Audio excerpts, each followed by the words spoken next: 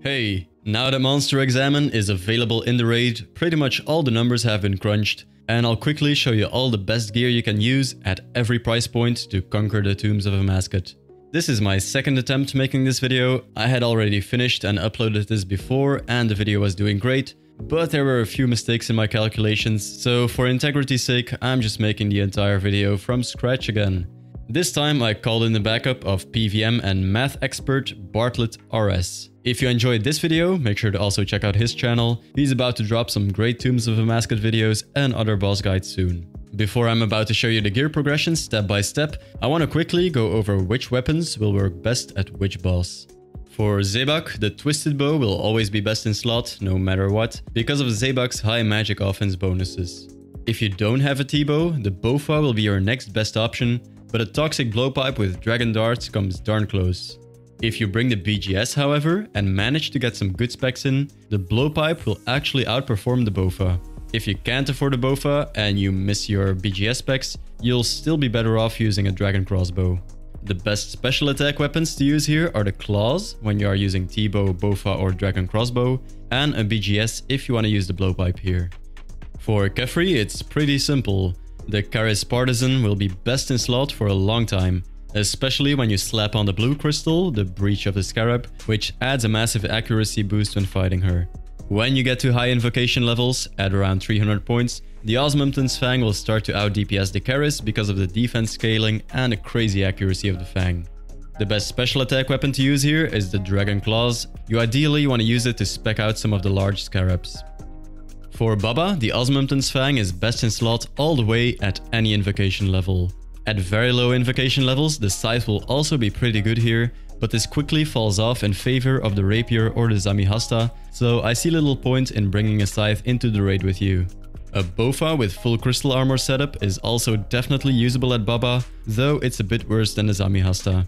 It could be useful for when you want to be extra safe against the Mind the Gap invocation, or if you want to be lazy and you don't want to switch gear for his rolling boulder phase. For special attack, use the D-Claws here as the BGS spec doesn't lower his defense.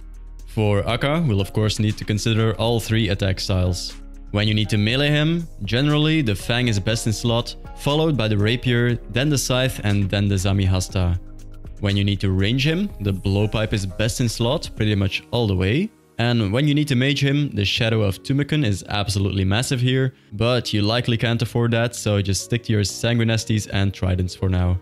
For special attacks, the D-Claws are great here once again, so you can DPS him down in his final phase. And for the final fight, against the Obelisk, you generally have three good options. Tumeken Shadow will probably be the best, followed by BGS packing the obelisk and killing it with a blowpipe, followed by declawing the obelisk and using the Osmumten's Fang to finish it off. Just chilling with a Bofa will also work pretty well against the obelisk. For phase 2 of the Warden fight, when you need to mage them, the Shadow of Tumeken is best in slot, then the Sanguinesti stuff, and then the Toxic Trident of course. When you need to range him, T-Bow is best in slot, with a big gap to the Bofa, which is second best in slot. If you're not bringing T-bows and Bofas, a blowpipe with Dragon Darts is gonna be your best option up until around 220 invocation level. After 220 points, the increased accuracy from the Dragon Crossbow starts to outperform the blowpipe. Use Dragon Dagger special attacks during phase 2 to make quick work of the core. For phase 3 of the Warden fight, the T-Bow will again be best in slot. However, because of his low defensive stats, the Blowpipe will also work wonders here, especially if you manage to land a BGS spec on him.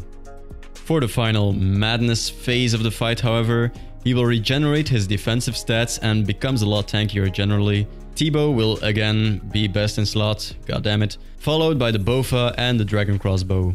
You really, really, really don't want to use a blowpipe here. He has very high defense, so the inaccuracy of the blowpipe will be noticeable, and you won't even be able to attack every possible tick because you're spending so much time dodging the crap on the floor. If I have some special attack energy and perhaps an adrenaline potion left at this stage, I usually try to get some D-Claw specs in here to burst him down. Okay, now that we went over the best weapons for each of the bosses, let's have a look at the order of importance for upgrading. The starting point is to be a 100 mil budget setup.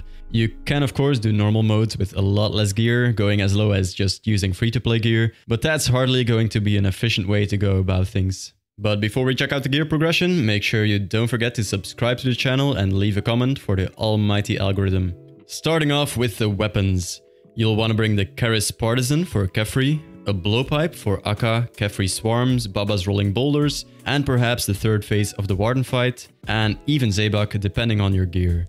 You also should, in addition to the blowpipe, bring a dragon crossbow with ruby dragon bolts for Zebak and the final phase of the Warden fight. Bring a Zammy Hasta for killing Baba and Akkha, bring a Toxic Trident for Akkha and Phase 2 Wardens, and a Bandos Godsword to potentially spec Zebak and the Obelisk. Also sneak in a DDS to kill the core at P2 Wardens.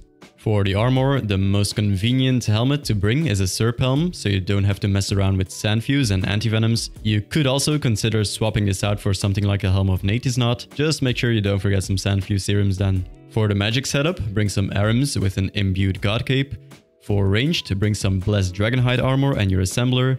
And for melee, bring some strength boosting gear like torso, obsidian legs, a fire cape and a dragon defender.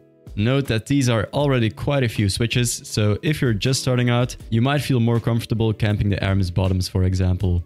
You also of course want to bring the massive jewelry upgrades, get yourself an occult necklace, the necklace of anguish, and for melee, you can choose between a blood fury or a torture. I personally prefer the Blood Fury because of the super satisfying massive heals at Kephri when the Kefrin Partisan special effect procs. I usually just cam the Barrows gloves because they're pretty good for all attack styles and it makes for easier switches, but the Tormented Bracelet would be a great upgrade to your mage setup. I'd recommend using a Brimstone Ring as it is pretty good for all attack styles and camp some Dragon Boots as boot switches are really not worth it. Don't forget to get yourself a Dragon Pickaxe to speed up Akkha's puzzle room. If you really want to do raids on a smaller budget than this, change the Hasta to an Abyssal Dagger, ditch the BGS and replace the Amulet switches with a Fury and you'll still be doing fine. When choosing the next big upgrade here, it's a bit of a toss-up, depending on what you like best and what boss is giving you the most trouble. The choices are between the Dragon Claws with a Lightbearer ring, the Bofa with a Crystal Armor, or a Rapier. Personally, I'm just a massive fan of using the claws, so I'd make that upgrade first. This will require a budget of around 260 mil, as you'll also want to get the Lightbearer ring to go with it, so you can use the special attack even more often during the raid. The claws are super useful for Baba, Kephri and Akkha, so they're gonna save you a ton of time. I also love using them at the final madness phase of the Warden, as it is for me the place where I still plank the most and shortening that phase with the claw specs saves me a ton of supplies. With a budget of around 550 mil, you'll want to ditch the Dragon Hides and the Dragon Crossbow in favor of a set of Crystal Armor with a Bofa. I personally have no problems with taking a bit longer to kill Baba and Akkha, so I'd prioritize the Bofa over the Rapier, which should help out quite a bit with Zebak and phase 2 and 4 of the Warden fight. If you don't have the whopping 300 mil it currently costs to get the Bofa setup, get your Rapier in the meantime. If you have a budget of around 700 mil, you can finally throw away your Zammy Hasta and replace it with a Rapier. It'll be a while before you can move on to the next upgrade, so get yourself some Bandos gear and some prims while you're saving up. Once you're at around the 900 mil mark, you can sell the rapier and your Bandos back and finally upgrade to the Fang, which is just absolutely bonkers at Baba. It's also great for destroying the obelisk, killing Akkha when he's weak to melee, and even at Kephri at higher invocation levels, so definitely a solid upgrade. Once you've made some more money, get your Bandos and Prims back to get some more damage with the Fang and the Dragon Claws. Okay, we're getting very close to the 1 bill mark already, but let's carry on for the rich people watching this video. Get yourself a Sanguinesti staff for another 100 mil and the Elidinis' ward if you're comfortable with bringing in an extra shield switch. Just make sure you've upgraded it into the fortified version by combining an arcane sigil with it, or it's absolutely not worth bringing. By the way, to combine the ward with the arcane sigil, you'll need to have 90 prayer and 90 smithing. After that, I'd recommend ditching the old Barrows gloves in favor for the perfect trifecta of the Tormented Bracelet, the Ferocious gloves and the Zaryte Vambraces, if you're comfortable with bringing in those extra glove switches of course. At around a total value of 1.6 bill, you'll be able to get yourself a set of ancestral robes to give you some more max hits with magic, but at this point we're getting into the realm of absolute best in slot, and the first massive upgrade you want to focus on is getting yourself a twisted bow.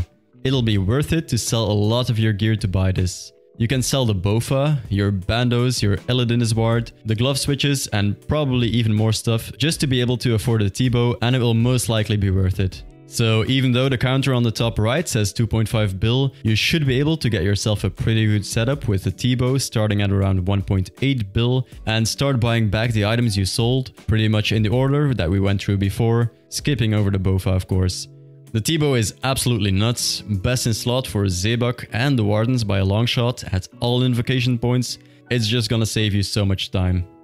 Now for the final few upgrades, for those just swimming in cash, upgrade to the Armadyl or the Masori armor, and after that you'll want to upgrade your Bandos armor to Torva until you can afford a Shadow of Tumeken.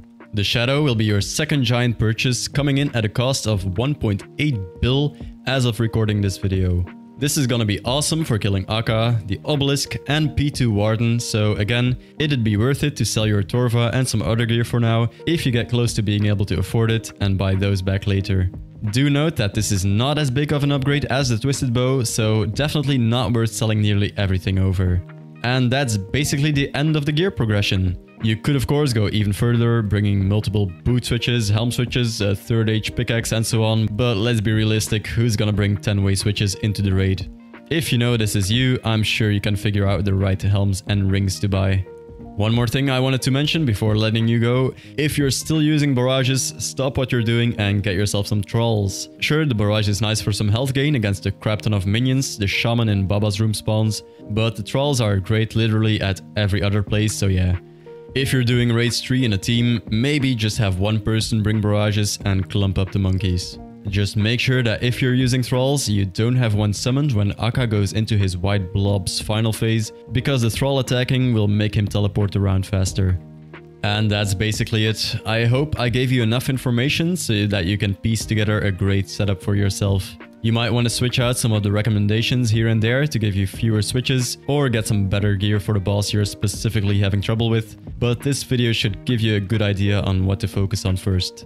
If you got something out of the video, consider subscribing to the channel, I'll be posting more Tombs of Amascut and bossing content soon. If you still need a guide on how to complete the tombs, I'll have a video for you on screen now, go check it out. Thanks for watching, see ya!